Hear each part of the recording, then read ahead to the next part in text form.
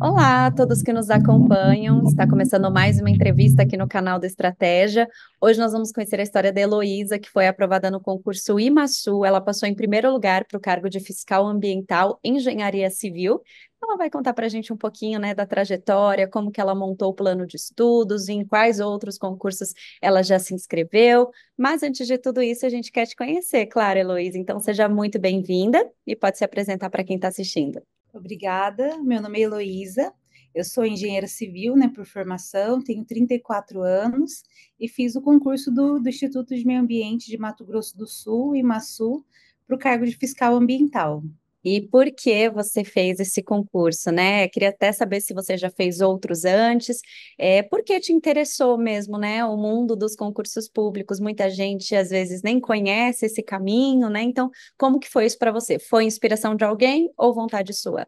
É, eu formei é, em engenharia civil no final de 2018, né? E já em 2019 eu já passei num processo seletivo para trabalhar nesse órgão mesmo, né? No IMASU.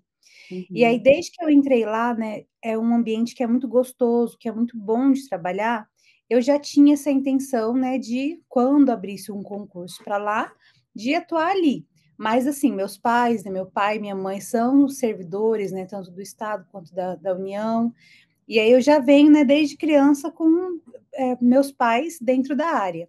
Já era uma vontade que eu tinha pela estabilidade, pela dinâmica, né, do trabalho. Sim. E aí, quando eu formei e entrei, né, mesmo como contratada, eu já vi que eu, que eu gostaria mesmo. E aí você já tinha como objetivo esse, o, o IMASU mesmo, ou assim, foi a oportunidade que te apareceu por causa já desse processo seletivo, ou você ainda tem algum outro concurso pela frente que você gostaria, né? Qual, como que é essa questão dos seus objetivos mesmo, né, no mundo dos concursos? Certo. É quando eu comecei a estudar assim para concurso que eu fui entender como que era esse universo, né, essa de, de vagas que existem, eu pude ver né, que tem oportunidades que são muito boas, são muito melhores. É, e agora eu penso em continuar estudando né, para conseguir alguma coisa que pague melhor, né, questão de carga horária. Mas assim, o meu objetivo, desde quando eu entrei no Imasul, era um dia me tornar servidora efetiva ali, uhum. dentro do, do órgão mesmo. Legal. Agora, né, vou pensar mais para frente. Sim, com certeza. E é isso que você falou, né? Quando você começa a estudar, é que você começa a ver é, a grande quantidade de oportunidades que estão ali à sua disposição a partir do momento que você coloca que você vai começar a estudar, né? Então, é, começa a aparecer um monte de coisa, né? E aí você vai avaliando questão salarial, a questão do órgão mesmo, né? Que você se interessa. Então, é muito legal essa parte. E, bom, conta um pouquinho, então, como foi a sua preparação, né? como que você estudava, quais ferramentas você utilizava, é, por quantas horas você estudava no dia, né? Então, todo esse planejamento que você montou para conseguir a sua aprovação. Bom, desde quando eu entrei, né, no, ali no órgão mesmo, nesse contrato, vira e mexe a gente estudava, né, alguma coisinha ou outra, porque é, sempre estava naquela espera de uma hora iria abrir esse concurso, Sim. né? Então, a gente estudava, mas não era nada não tinha nenhuma. É, era muito dinâmico, porque dia estudava, dia não, não tinha uma metodologia. Aí o dia que saiu é, a autorização, né? Até começou a autorização do concurso saiu em 2022. Aí no cursinho todo mundo abriu aquele pré-edital, sabendo que em breve seria lançado o edital. Uhum. Eu fiz um cursinho presencial aqui na minha cidade, né, em Campo Grande, é, com é, material né, pré-edital. Então, algumas das matérias que foram dadas nesse cursinho não foram nem cobradas no concurso, né, como raciocínio lógico, que inclusive eu amo, e não caiu, foi um susto até, né, porque sempre o, o raciocínio lógico eu estudava como uma diversão. Aí eu tinha que privar as horas né, que eu me dedicava a estudar para o raciocínio, porque senão eu queria estudar só isso, que é, é gostoso. Olha. E aí não caiu, mas enfim, como demorou muito tempo para lançar o edital, eu fiquei esse tempo, né, praticamente sem estudar, vira e mexe assim, um dia ou outro, ah, vamos animar, vamos dar uma estudadinha. Estudava um pouquinho, mas nada que dá para nem contabilizar. Sim. Né? Quando saiu o edital, aí eu foquei, né, falei, agora eu vou, vou, vou estudar, né? Sim. Fiz um, uma, um método, né? Porque como era muito pouco tempo, eram menos de dois meses, né? De quando lançou o edital até a data da prova. Eu sabia que era muito pouco. As disciplinas, né? As matérias eram é, coisas que a gente nem esperava, né? Assim, foram muito específicas e a gente não esperava mesmo. Se assim, eu falo, gente, todo mundo, né? Que estava querendo se preparar para esse concurso. Então, estava todo mundo começando do zero ali também. E aí eu falei, bom, mas vou, vou tentar estudar. Aí no início eu tive ainda um problema, que o meu cachorrinho de 10 aninhos, que era né, o meu nenenzinho, acabou falecendo, então, mas nesse dia eu ainda falei, eu vou estudar pelo menos uma hora, consegui estudar uma hora esse dia, mas eu fui muito, muito, muito, tive uma disciplina muito forte mesmo durante esse período para cumprir. Então, os dias que eu tinha que eu trabalho, né? Eu tenho que trabalhar, eu faço mestrado. Aí, durante esses quase dois meses, né? Eu falei para o meu orientador do mestrado, eu falei, eu não vou me dedicar para o mestrado nesse momento, porque saiu o concurso, eu vou estudar. Então, foi para onde eu me dediquei. Então, eu tinha minhas horas, né? Se eu tinha que trabalhar, o horário que eu tinha livre no trabalho, eu estava respondendo questão, estava lendo alguma coisa, horário de almoço, chegava em casa, vinha estudar.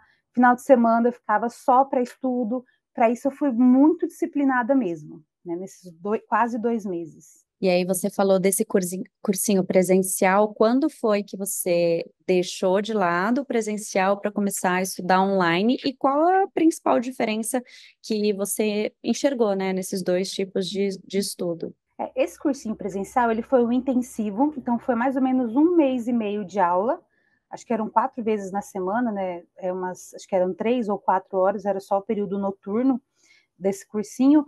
E assim, é, foi bom, é, eu achei bom, mas o que mais eu achei, assim, que mais me pegou era. Eu até gosto de assistir videoaula, mas é porque eu acelero, então a gente retém muita informação em muito pouco tempo, isso é muito bom. Ali, além disso, né, de não poder acelerar, de a gente não poder né, escutar, pular alguma coisa que a gente sabe que não é tão interessante, os alunos têm dúvidas, né, nossos colegas ali têm dúvidas também, é, interrompe alguma coisa que para a gente não, não, é, não seria uma dúvida, então poderia passar rápido. Para ele, outras pessoas poderia ser, né, mas para mim, às vezes, não era interessante. E isso dificultava. Eu também, o tempo, né, que até chegar lá, depois sair de lá, chegar em casa, era um tempo que você poderia aproveitar com alguma outra coisa. Isso foi o, o principal mesmo.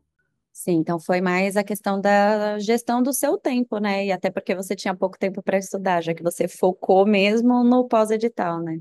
Sim. Uhum. Aí no, no pós-edital eu nem fiz presencial.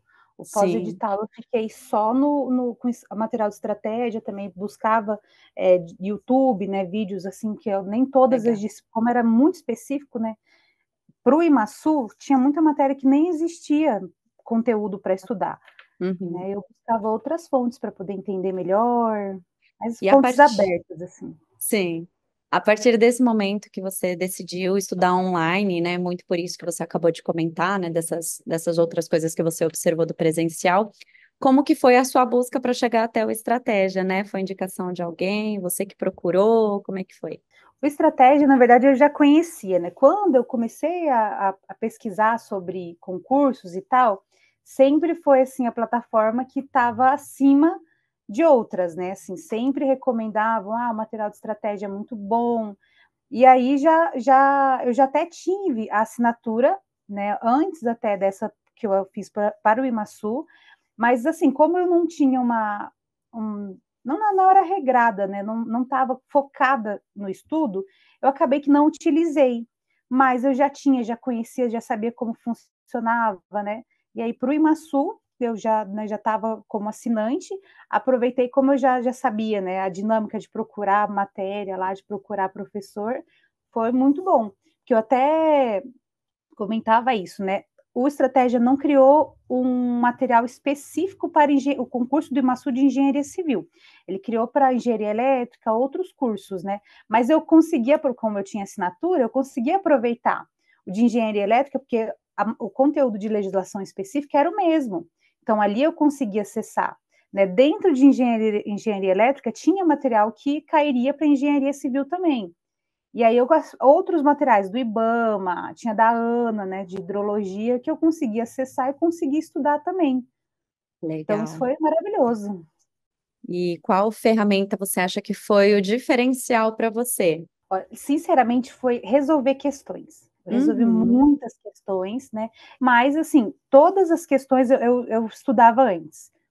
Eu lia pelo menos uma vez a lei, eu li o material do estratégia para poder entender e aí focava em responder questões. E aí, do estratégia que você mais utilizou foi PDF, então, para realmente é. ter essa leitura e depois fazer a questão, né? As questões. Sim, sempre o PDF. A, a parte de videoaula eu gosto, né? Mas é só quando eu tenho alguma dúvida. Uhum. Aí eu prefiro assistir uma videoaula ou alguma, algum conteúdo que eu não a parte de direito, eu não tenho tanta facilidade. Então, se alguém me explicar, né, igual uma videoaula, um pouquinho mais rápido, né, me dá uma base na hora que eu vou ler o PDF, eu tenho muito mais facilidade, eu consigo ler e entender melhor. Eu ia perguntar isso da dificuldade, você acabou de falar da área do direito. Alguma disciplina em específico que realmente não entrava na sua cabeça? É, é a parte de legislação, uhum. porque eu uhum. acho muito. É, é, é, é, ler e tentar decorar, né? Ler para concurso é decorar, não é nem tanto entender. Porque às vezes você discorda, né? da lei, mas é a lei, e é. aí é. tem que decorar, é prazo, e é, é, eu acho muito difícil decorar prazo, decorar. Só que. Aí tem uma história muito legal que tinha uns prazos, né, de quando eu estava estudando uma lei específica de licenciamento e os prazos de análise de processo. Eu falei, ah, análise de processo eu acredito que não vai cair, pode ser de emissão, de, né? E aí eu falei, não, vou só passei o olho. No dia da prova, minha mãe estava aqui em casa, né? Falei, mãe, eu não sei esses prazos aqui, né? Aí era, eu falei, vou decorar esses prazos. Aí eu crio na cabeça alguma coisa que me ajuda a decorar. Uhum. Um, ah, é 0505 final. Aí o prazo é 60, então 75, 90, mas o de baixo é 65, 95, 100. Dei um jeito de decorar isso na minha cabeça e no dia da prova caiu uma questão cobrando um prazo específico, né? Que eu tinha decorado no dia, na manhã, né? A prova foi durante a tarde. De manhã eu decorei esses prazos e aí caiu uma questão específica sobre isso. Olha só. Então, e você aproveitou até amanhã do, do dia para estudar, né? Porque tem gente que no dia, no dia anterior já começa a pausar um pouquinho. Então, você aproveitou e foi o que te salvou, né?